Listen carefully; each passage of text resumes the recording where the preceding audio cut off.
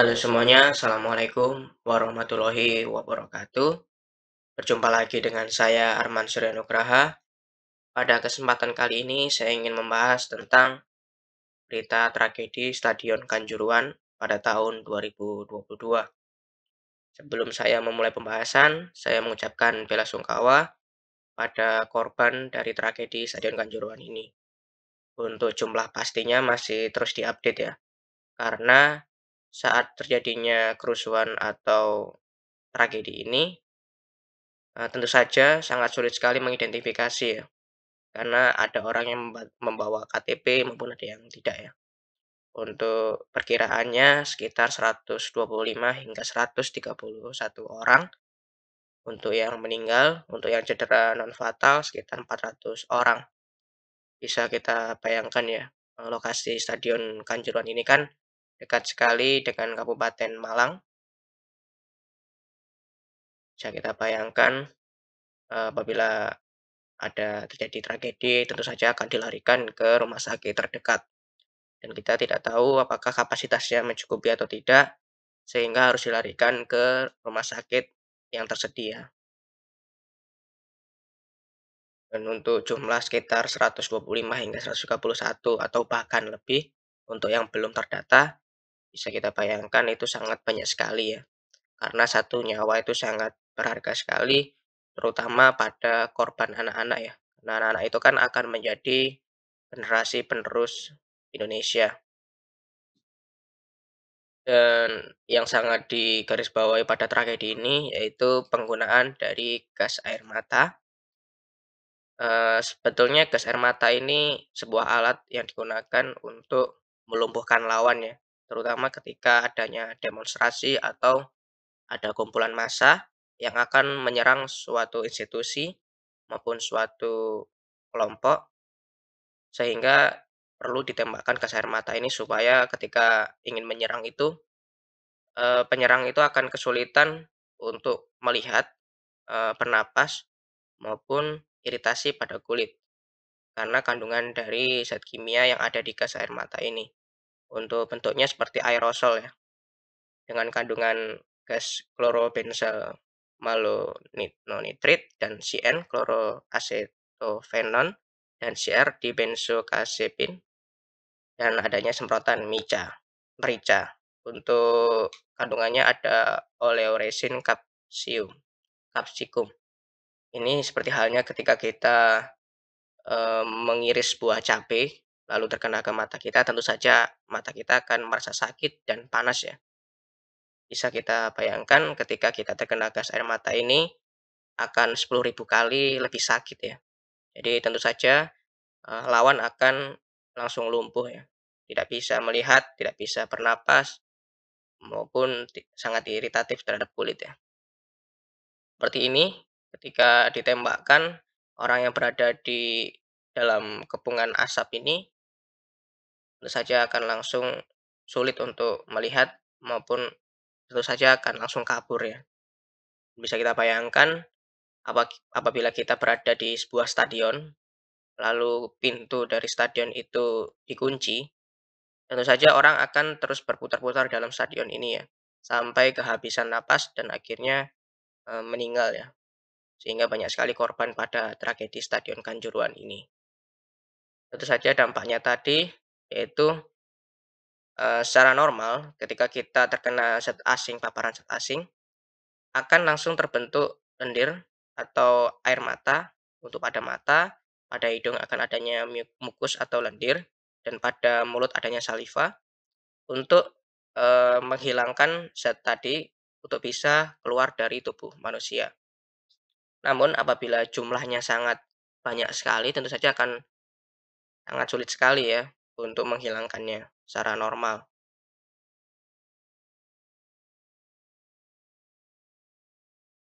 Dan ini kita ambil dari website BBC untuk fakta-fakta tentang gas air mata di balik tragedi Stadion Kanjuruhan. Mengapa saya baru membahas tentang tragedi Kanjuruhan ini tidak pada awal-awal kejadian? Karena saya menunggu uh, tentang berita-berita yang valid ya. Karena sangat berbahaya sekali, terutama ketika kita menyampaikan sebuah berita, namun berita itu tidak benar, tentu saja akan eee, menyakitkan hati para korban yang ada di stadion ini ya. Tentu saja saya perlu menunggu berita yang valid ya. Jadi di sini penggunaan gas air mata ini untuk melumpuhkan supaya orang yang akan menyerang yang masuk ke dalam stadion itu langsung tidak berdaya ya, sehingga mudah untuk mengaturnya. Namun mungkin di sini karena sudah tidak terkendali, sehingga penembakan gas air mata ini mungkin berlebihan ya. Namun secara aturan FIFA tidak diperbolehkan membawa gas air mata ke dalam stadion. Namun ada berita ya kemarin, itu benar atau tidak, senjata itu sudah dititipkan di luar stadion, namun tidak tahu mengapa kok sudah berada di dalam stadion dan ditembakkan untuk, eee, mengkondusifkan eee, keadaan ya. Namun ketika gas air mata ini sudah ditembakkan, ya seperti kita terpapar semisal kita menggunakan aerosol kayak obat nyamuk yang semprot itu, itu apabila terkena mata saja sudah kesakitan ya mata kita. Apalagi ini gas air mata yang 10.000 kali lebih menyakitkan ya. Dan tentu saja ketika ditembakkan itu, eee, sangat tidak kondusif ya, karena ingin menghindari supaya tidak terkena paparan zat kimia ini. Dan kemarin ada berita bahwa pintu dari stadion ini ditutup ya, tidak tahu mengapa alasannya, sehingga tidak bisa keluar para pendukung ini ya, supporter ini. Dan ini ketika digunakan saat demonstrasi terutama di Hong Kong ya, pada tahun 2019. Di sini para demonstran sudah mempersiapkan alat pelindung diri ya, karena sudah tahu nanti pasti akan ditembakkan gas air mata, sehingga akan mereka melindungi dari kepala untuk menghindari sebuah benturan dan kacamata, supaya mata itu tidak terkena paparan dari gas air mata itu sendiri. Adanya masker, eee, supaya hidung itu tidak, eee, mengeluarkan lendir yang berlebihan dan tidak masuk ke paru-paru manusia. Dan tentu saja jaket dan baju hingga sepatu ini untuk melindungi kulit supaya tidak terkena zat iritasi ini, iritan. Dan apa efeknya bagi tubuh ketika kita terpapar gas air mata? Karena setelah ditembakkan itu kan gasnya sangat banyak sekali ya, tentu saja langsung di seluruh tubuh akan terkena ya, secara bersamaan. Pada mata, air mata akan keluar secara lebih dan adanya sensasi terbakar, pandangan menjadi buram atau tidak jelas sehingga musuh atau orang yang terkena ini tidak bisa bergerak, tidak berdaya untuk menyerang dan adanya kemerahan. Ini untuk respon dari mata ketika ada zat asing yang masuk ke mata. Dan pada hidung tentu saja akan keluar, eee, lendir atau ingus dan adanya sensasi terbakar dan adanya pembengkakan. Dan pada mulut adanya sensasi terbakar, iritasi, sulit untuk menelan dan keluarnya iler. Pada kulit ada sensasi terbakar dan adanya ruam kemerahan. Dan pada paru-paru tentu saja akan sesak, batuk, sensasi tercekik, dan sesak napas. Dan yang lainnya bisa pusing maupun muntah. Bisa kita bayangkan saat ada kerumunan orang aja kita akan kesulitan untuk mendapatkan oksigen, apalagi ditambahi, eee, tembakan gas air mata ya. Asap dari gas air mata itu akan lebih banyak dibandingkan oksigen ya, sehingga orang akan menghirup, eee, gas air mata itu sendiri dan bisa kita bayangkan betapa, eee betapa bagaimana ya orang yang ada di lokasi itu merasakan tentu saja akan chaos ya. Dan ini ada beberapa cara untuk mengurangi gejala. Tentu saja ketika kita terkena, eee, zat kimia itu kita harus menghilangkannya atau melarutkannya supaya, eee, hilang ya, kita bilas ya. Namun karena hampir du serib 10.000 kali lebih lebih banyak ya, lebih kuat, tentu saja membutuhkan waktu yang lama ya supaya bisa hilang, eee, zat kimianya ini. Dan ini ketika ilustrasi, eee, gas air mata yang digunakan ketika ada demo ya, untuk membuat, eee, pendemo itu bubar ya. Seperti ini alatnya. Uh, seperti hampir mirip seperti pistol ya. Lalu gas air matanya berbentuk tabung, lalu ditembakkan ke udara menuju ke tempat kerumunan tadi. Dan seperti ini gambarannya, ini aja sudah menggunakan alat pelindung, namun karena dia sifatnya asap ya, tentu saja masih bisa masuk ya.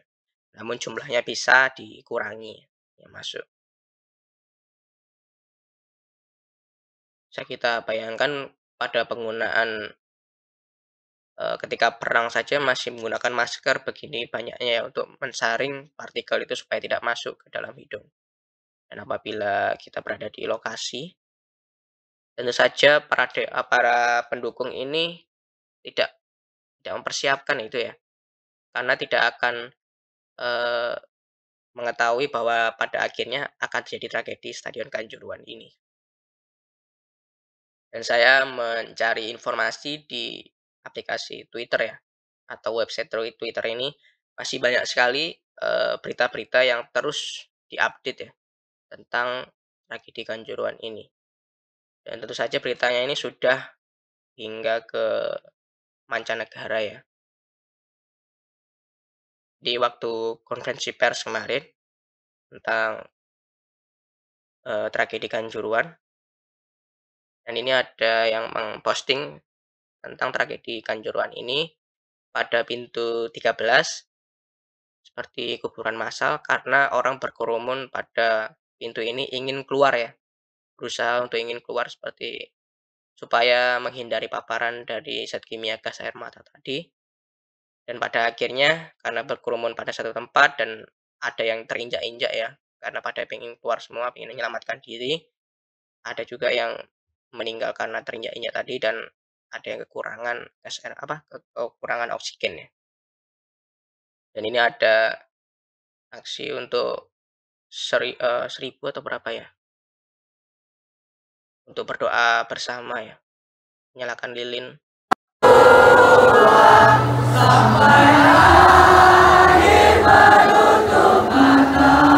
Ini merupakan aksi peduli terhadap tragedi juruan ya.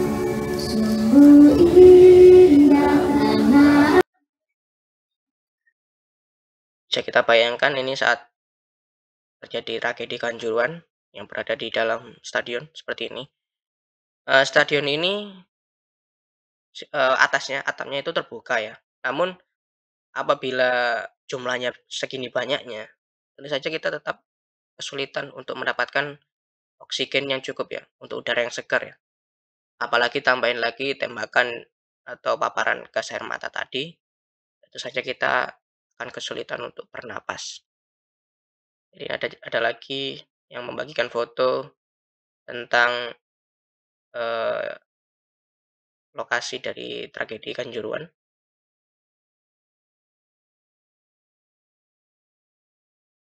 ini ada berita yaitu presiden kita akan memberikan santunan 50 juta untuk keluarga korban tewas tragedi Kanjuruhan. Ini ada lagi uh, dari fans Bayern Munchen memberikan simpati kepada kita yaitu dengan menuliskan uh, lebih dari 100 orang uh, meninggal karena tragedi ya. Dan lokasinya di Kanjuruan. Dan ini ilustrasi ketika di pintu 13 ya harusnya pintu 13 ini buka 15 menit pertandingan itu selesai namun tidak tahu apa sehingga orang berusaha untuk dan berusaha untuk tengok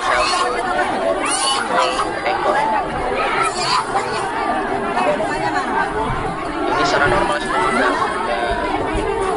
kekurangan oksigen lagi saat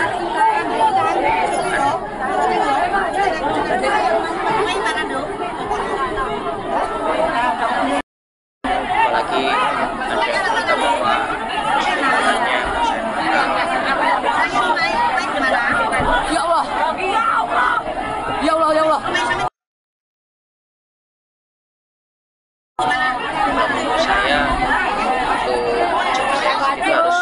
kita ya karena kita tidak tahu bencana ya kita bisa langsung keluar untuk menyelamatkan diri. Seharusnya apabila ada berita tentang pintu itu ditutup tentu saja tidak perlu untuk menembakkan gas air mata ya karena tidak mungkin orang yang berada di dalam ini akan kabur ya. Tentu kita bisa menggunakan cara yang lain supaya orang yang berada di dalam ini kondusif ya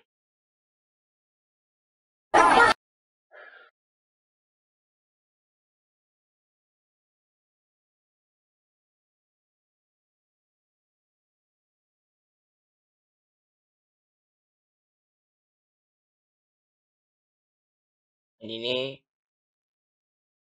ada banyak sekali dukungan dari pihak luar ya.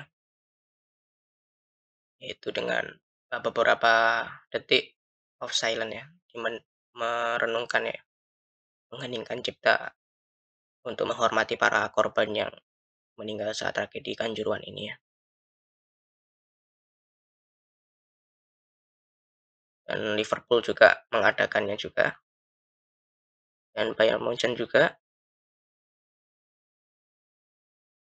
dan ada juga yang uh, Barcelona juga mengeningkan cipta untuk korban tragedi Kanjuruhan ya. Karena jumlahnya itu sangat banyak sekali ya, karena satu nyawa itu sangat berharga.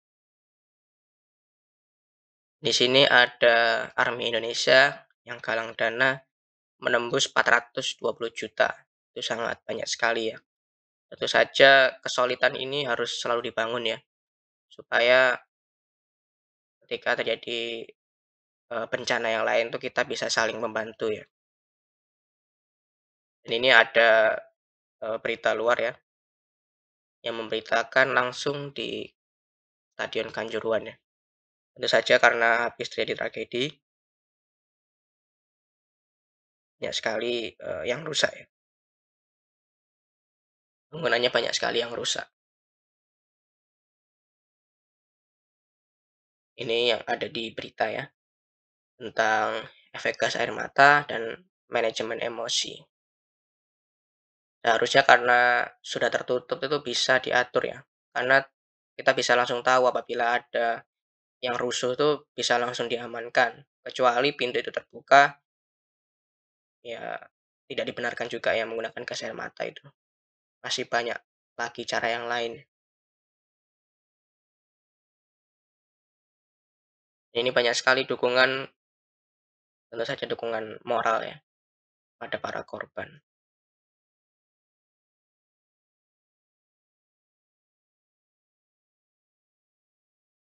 Kita bayangkan saat tragedi ya. Ada yang tertendang, ada yang terpukul.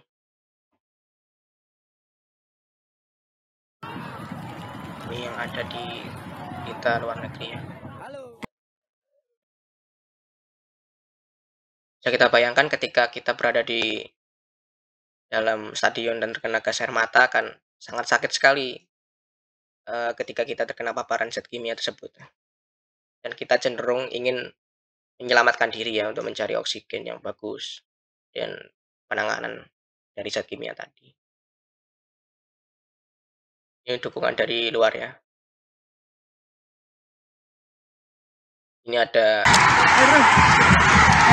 Pak, jangan sampai gas air mata jangan kecil, Pak. Kalau dikandani, Bro. Iya. Iya, saya keluar. Iya, saya keluar. Tahu bisa dikira enggak? Iya, saya keluar. Iya. gas air mata yang ditembak.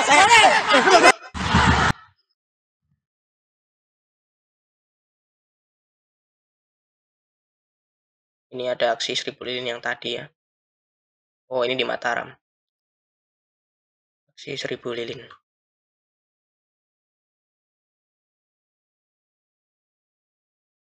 Bisa kita bayangkan di sini korbannya mulai dari dewasa hingga anak-anak ya. Tentu saja anak-anak ini kan akan menjadi generasi penerus Indonesia ya. Harus diselamatkan.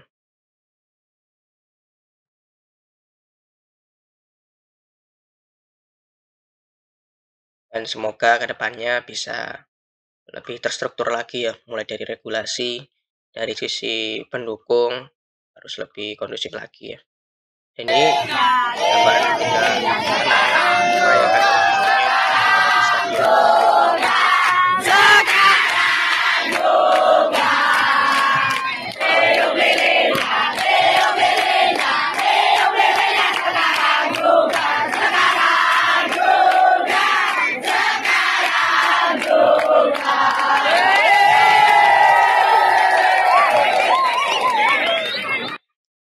Tentu saja apabila merayakan ulang tahun di stadion itu menunjukkan bahwa stadion di Indonesia itu sudah sangat kondusif sekali ya saat ini.